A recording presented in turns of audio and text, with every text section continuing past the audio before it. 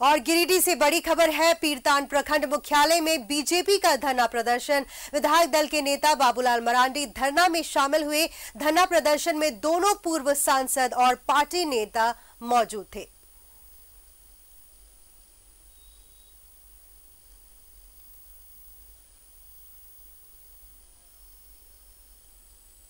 और गिरिडीह से हमारे सहयोगी श्रीकांत हमारे साथ जुड़ चुके हैं। श्रीकांत, आपसे जानना चाहेंगे, थोड़ी देर पहले बीजेपी का धरना प्रदर्शन शुरू हुआ था, जहाँ पर बाबूलाल मरांडी भी मौजूद रहे और राज्य सरकार के खिलाफ ये धरना प्रदर्शन हुआ। और देखिए, आरती, मैं बता दूँ कि भाजपा का जो पूर्व निर्धारित यह कार्यक्रम था, जहाँ पर जो भी प्रखंड मुख्यालय हैं, उन प्रखंड मुख्यालयों में भाजपा की ओर से भाजपा कार्यकर्ताओं की ओर से धरना प्रदर्शन किया जा रहा है।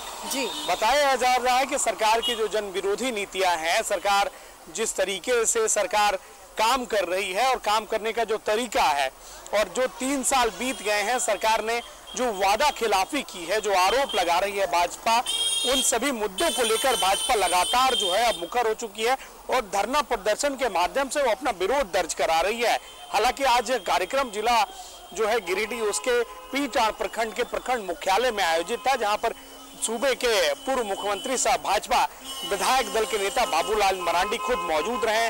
कार्यक्रम में गिरिडीह के जो सांसद हैं, पूर्व रविंदर पांडे और रविंद्र राय पूर्व पूर्व सांसद कोडरमा गिरिडीह के पूर्व विधायक निर्भय साहबादी हो या दिनेश यादव की हम बात कर लें या फिर चुन्नूकांत या जिला अध्यक्ष महादेव दुबे, ऐसे कई नाम है शाम प्रसाद हो गए, पीटान से चुन्नूकांत तो जो भी कार्यकर्ता है, वो यहाँ पर एकजुट हुए हैं, कई सारे, चूँकि यह इलाका जो है, आरती, मैं आपको बता दूँ कि पूरा इलाका नक्सल प्रभावित इलाका रहा है, और यहाँ पर जो वोट बैंक है, वो ट्राइबल वोट बैंक है। तो अब जो भाजपा एक और हम देख रहे हैं इस धरना प्रदर्शन के माध्यम से कि भाजपा एक तरीके से धीरे धीरे जो है, पूर्व की तैयारी शुरू, चाहे भाजपा की हम बात कर लें या जेएमएम की बात कर लें, अब धीरे धीरे चुकी यह वर्ष जैसे ही खत्म होगा, अगला वर्ष शुरू होगा वैसे वैसे चुनावी तैयारियों में जो है सारी पार्टियाँ चली जाएँगी। हालाँकि आज जो विरोध प्रदर्शन था, उसमें बाबूलाल मरांडी जो मुख्य बातें कही हैं। उन्होंने कहा है कि जिस तरीके से जो सत्ता पक्ष के नेता चाहे वो कांग्रेस के नेता न हो या फिर झारखंड मुक्ति मोर्चा के नेताओं ने हाल के दिन में भाजपा को लेकर जिस तरीके का बयान दिया था आ, मारने की बात कही थी जिस तरीके से या फिर टांग तोड़ने की बात कही थी उन्होंने कहा कि कांग्रेस जो है वो गांधी के विचारधारा पर चलती है। और जिस तरीके से कांग्रेस के नेता यह बयान दे रहे हैं वो किसी भी तरीके से जो है शोभनीय नहीं है और उनकी खुद विचारधारा पर यह बयान सवालिया निशान है। और दूसरी तरफ़ उन्होंने कहा कि जिस तरीके से सत्ता पक्ष के नेता बयानबाजी कर रहे हैं, वो उनकी बौखलाहट का नतीजा है। तीन साल बीत गया है और फिर से जनता के बीच में जाना है। तो एक बौखलाहट के रूप में वो इन बयानों को ले रहे हैं और राज्य की जनता सब कुछ अपने आँखों से देख रही है। और जब चुनाव का वक्त आएगा तो जनता जनार्दन ही राज्य के लोकतंत्र के सर्वप्रथम मालिक है।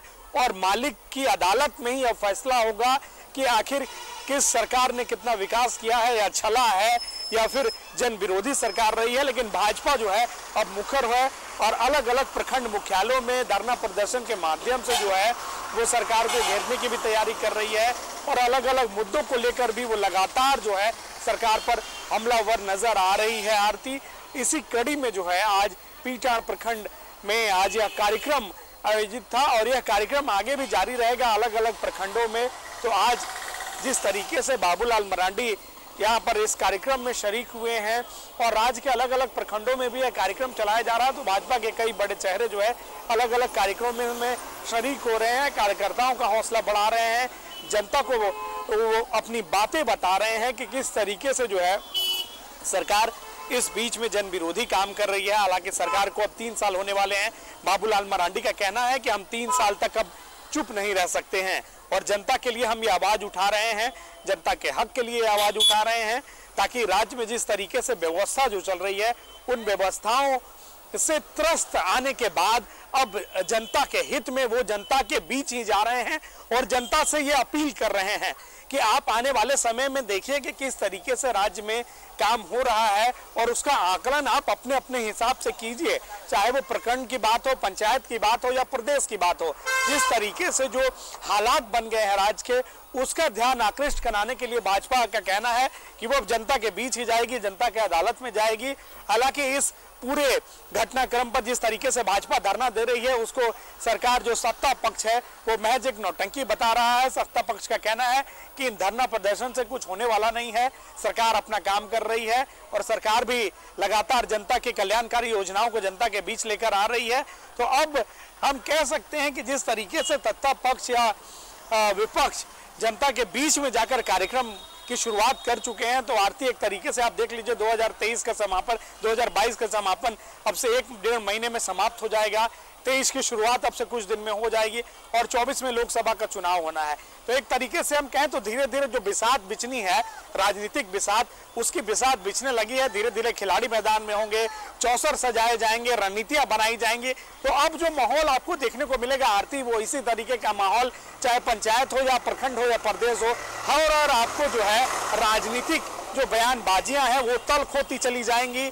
जो राजनीतिक जो बयानबाजी अभी हालाँकि शुरू हुई है राज्य में उसको आप देख ही सकती हैं और धीरे धीरे यह जो नतीजा है इसका नतीजा तो अब जनता की अदालत में ही होना है लेकिन अपने अपने तरीके से सभी राजनीतिक दल अब जनता के बीच पहुँच रहे हैं और जनता के बीच पहुँच के ही वो अपनी बातों को रख रहे हैं और अपनी बातों को समझाने और बताने का प्रयास कर रहे हैं आरती। बिल्कुल श्रीकांत। शुक्रिया तमाम जानकारी के लिए। तो आज बीजेपी का धरना प्रदर्शन गिरिडीह में हुआ राज्य सरकार के खिलाफ।